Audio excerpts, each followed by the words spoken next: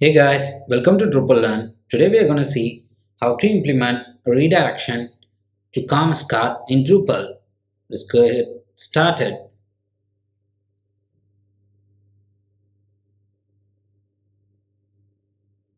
Let's log in. Let's go to products and try to add a product. Clicking on add to cart actually displays a message by default and you have to click on the link to go to the cart. Let's just remove this.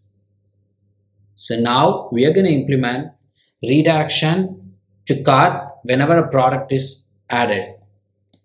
So let's search commerce cart redirection. Drupal. Let's click on it. Let's copy the machine name. Fire up the terminal. Orlando. Composer, Require. Drupal. Paste the machine name.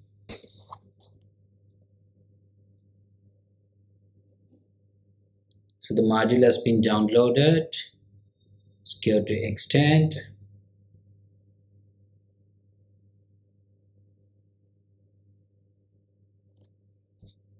Tap in redirect.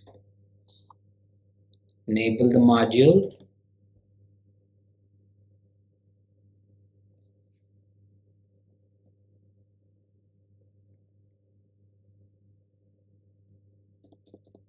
Let's see if there are any settings under it because there's a configuration. So it asks where you need to redirect when a product is clicked upon. So let's just choose cart click on save configuration. Now let's try this. Go to product. Now it should directly take us to the cart instead of showing up a message let's even change the variation. 200 now let's click on add to cart. It's not taking up. Just to make sure let's just flush the cache. Let's go to the product. Again click on it.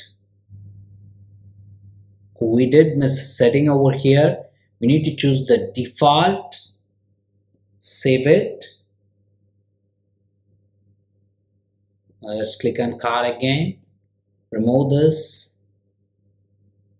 Go to product again. Click on t-shirt. Click on add to cart.